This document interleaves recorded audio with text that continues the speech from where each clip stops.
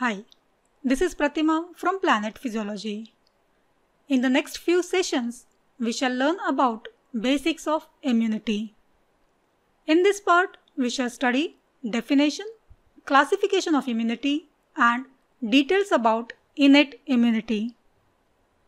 Immunity is defined as ability of body to recognize and defend against invading organisms or toxins that tend to damage the tissues.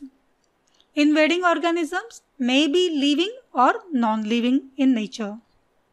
Based on the time of acquisition of this defense mechanism, immune system is classified into two, innate and acquired.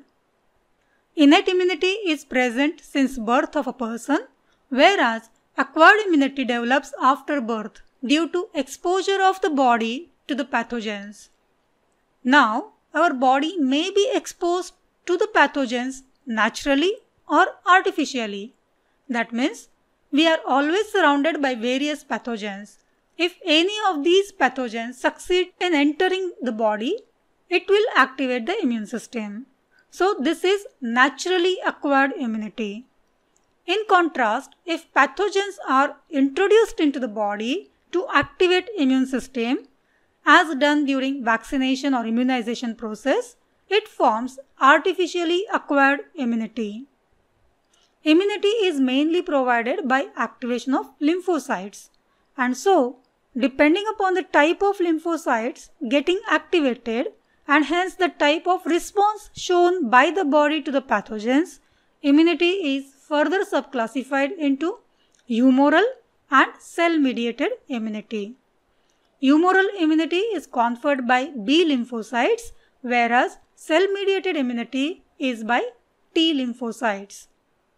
Artificial immunity also can be mediated either via B or T lymphocytes. In both these types, when the immune cells in the body are activated to deal with the pathogens, it is known as active immunity.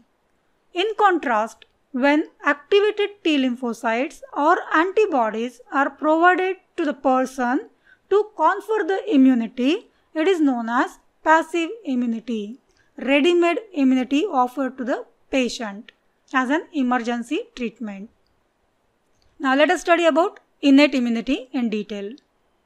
As I mentioned earlier, innate immunity is present since birth and it is phylogenetically older type of defense system which is also found in plants, fungi, insects as well as primitive multicellular organisms. It is usually non-specific in nature that means it acts against all kinds of pathogens in a generalized manner. Innate immune response mechanisms act very quickly but the extent of response is comparatively weaker than that of acquired immunity. These mechanisms usually form first and second line of defense against pathogens. How? Let us study with the help of examples. So the first is presence of various anatomical barriers and their secretions like skin and mucous membrane and their secretions. Then the cells like different types of WBCs, dendritic cells and natural killer cells also confer innate immunity. Various chemicals like components of complement system and various cytokines released by the cells are the part of innate immunity. Let us see the first one, the barriers. All the surfaces of our body, whether external or internal, are covered either by skin or by the mucous membrane. They prevent entry of pathogens into the body. Also, hairs, cilia and various secretions like mucus, tears, saliva, etc. trap the microbes and help to remove them from the body surfaces.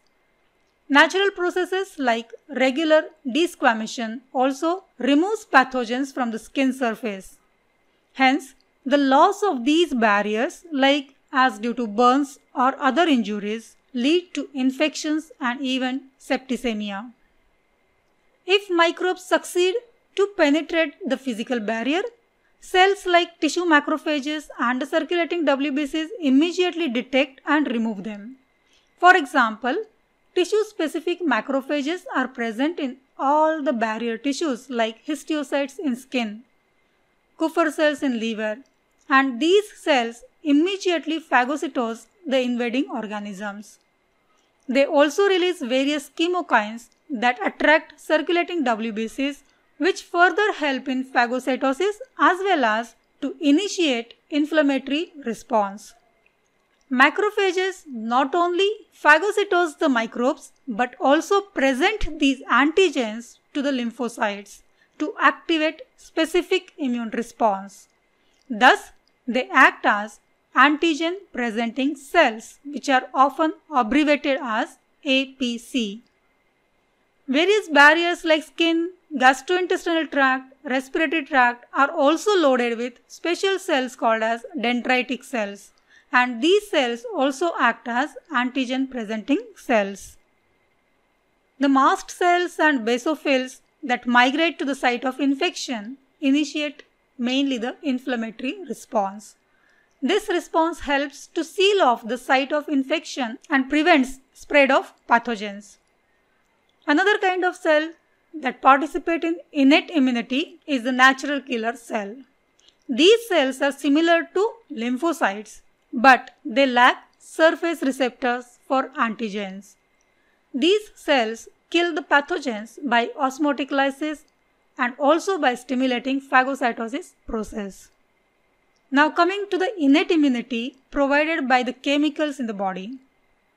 Secretions like tear and saliva contain lysozymes which are bactericidal in nature. If the microbes succeed to reach stomach, they are killed by highly acidic gastric juice. Plasma contains various complement proteins which are activated by antigens entering the blood. Complement proteins kill these antigens by various mechanisms. These different mechanisms exist in our body since birth and protect us from various diseases and all these mechanisms form innate immunity. Let us have a quick look at the important points of innate immunity. Innate immunity is present since birth. It is non-specific in nature and usually acts as first and second line of defense against invading organisms. It responds quickly to the pathogens, but it is short lasting. Examples of innate immunity include presence of skin and mucous membrane at the various surfaces, different cells like WBCs and natural killer cells, acidic pH of gastric juice and bactericidals like lysozymes in tears and saliva. So that's all for this session. See you in the next part. Thank you and keep watching. If you enjoy my presentations, press the like button and share it with your friends. For more such videos, subscribe my channel and click the bell icon. Thank you for watching and see you in the next video.